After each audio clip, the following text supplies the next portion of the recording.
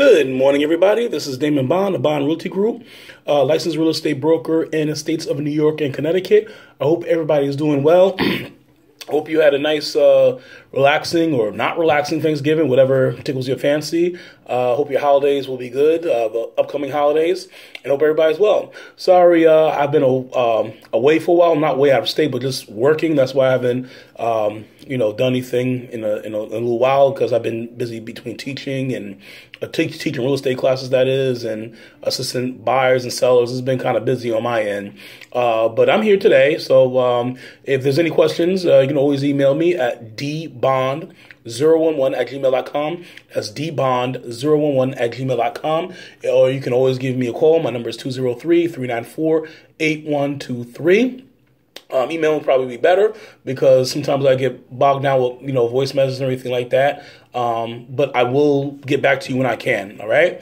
So I was just thinking about some things, and today's topic I want to talk about was just about the whole.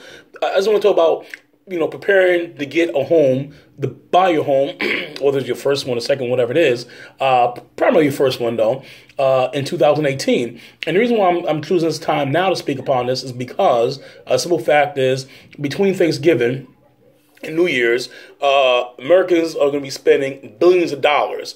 Uh, these billions of dollars are going to be spent on goods and services. All right. So whether it's a service such as you know flying out to see family and friends, which is always a good thing, or buy presents for a loved one, which is also a good thing, uh, money's going to be spent. All right. Uh, we recently had Black Friday. Um, you know, and that was a mad rush, what have you. So I'm basically just want to say, use some of that money. All right. Don't get carried away. Use some of that money for you to purchase your next home in 2018.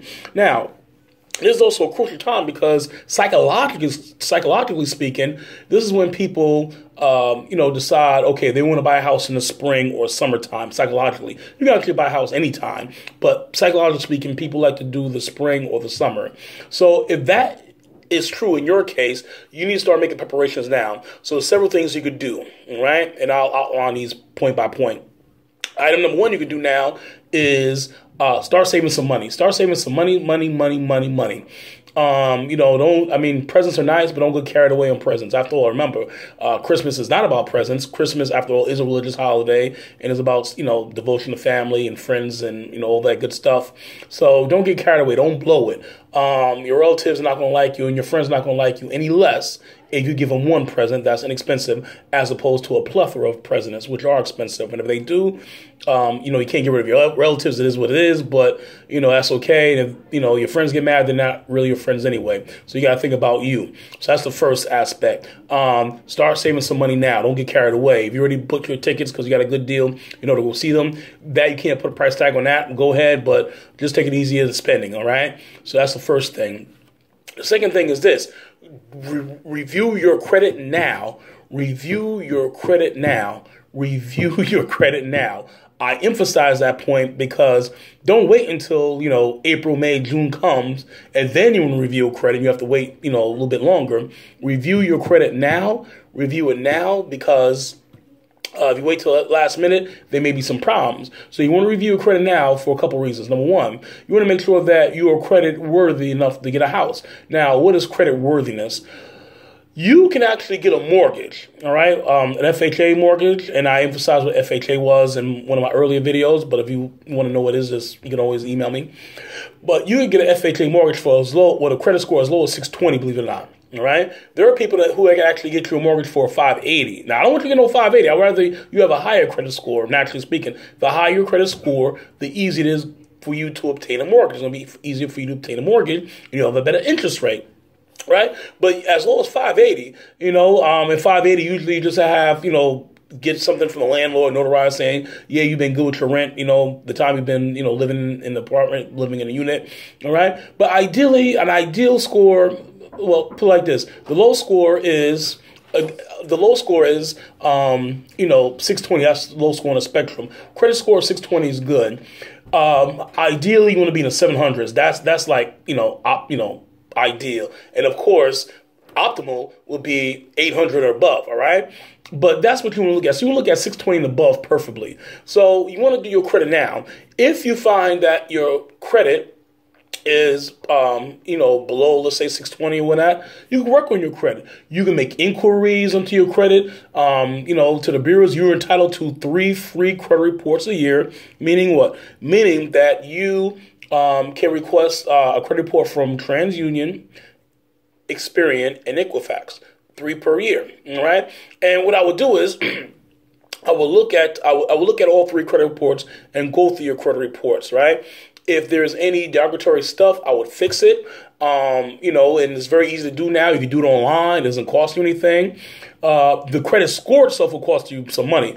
Uh, I've seen credit scores. You, you, you want to get what's called your FICO score, F I C O. I forgot what the acronym stands for, but it's your FICO score. So I would encourage you to um, pay for your FICO score It's worth it. it I've seen it any, anywhere from seven dollars to twenty dollars. All right, but you want to get that FICO score, and that FICO score, you want the numbers to be up there. So if something falls short in your credit, you want to be able to fix it. All right, I'll give you enough time. You wait a few months, and those points will come up. So that's one reason. Now, if your credit score happens to be good on the on the flip side, then I'd say don't wait until you know um, uh, springtime or summer. That's when everybody's gonna be looking for a house. Look for a house now. All right. So go to a mortgage person. Right. They'll run your credit again, but it's okay. There's nothing wrong with that. And then you'll have that pre-approval in your hand, and you can start your search. You know, you can start your preliminary search with a real estate agent. So that's what you do. So so far we have, um, you know, hold on to your money as much as you can. You want to uh, you know, check out your credit and, and, so forth. All right. The third thing you want to do is pace yourself. Don't feel rushed to buy something, right? Listen, 2000, you know, 17 is almost over. We're approaching 2018, which it may take you really do I find people, I love those clients who get a house, the first house they'll see, they'll put an offer for, right? Just make sure you get a house before the end of the new year. because remember, you could even if you bought a house December 30th, right? You know, December 31st, you know, 2018, right? You're gonna get credit for the house, you know, you're gonna you're gonna it's, it's good for taxes, so so that's fine. All right. So um yeah, so just you know, take your time in searching for in searching for a property. All right. When you um, when you have an agent, right? When you hire an agent, if you will, an agent works for you. That agent is going to have you sign what's called a buyer's rep agreement, buyer's representation agreement. Now, in the states of in the state of Connecticut, this is required, right? This is mandatory. You have to do that. In New York, you know, I know some people don't do that, but you want them on a buyer's rep. And buyer's rep are important. This is how real estate agents get paid, and this is how you become embedded with a real estate agent. Now, some agents won't have you do it. And that's wrong because you can't show other people's, you know, property, you know, other agents' listings without signing that thing. So it's imperative. So if they ask you to sign a buyer's rep, um, people, you know, they're not trying to trap you anything. Yes, it is. It is legally binding. However, you can always get out of the buyer's rep. You know, you just say, I don't want to work with you, and that can be canceled. So that's no big thing. But this is what it is um, and is, is, is, the law. So with that said, with that said, ladies and gentlemen, just keep these in mind. So 2017 is coming to a close. Take it easy on the funds. You know, improve your credit. It has to be, if your credit is if your credit is good, is up there, don't open up any new accounts. Don't open up any new accounts. Don't open up any new accounts. Do not open up any new accounts until you close on that house, all right? Because each time you open up a new account, that means that you know you you are willing to take on more debt and banks and mortgage companies don't like that. So if your credit is fine, don't open up new accounts. Don't co-sign for anybody.